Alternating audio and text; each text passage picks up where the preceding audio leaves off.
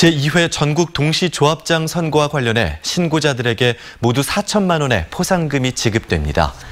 전라남도 선거관리위원회는 최근 포상금 심사위원회를 열고 조합장 선거 후보자로부터 현금 200만 원과 100만 원을 받은 행위를 신고한 두 명에게 모두 2천만 원을 포상하기로 했습니다.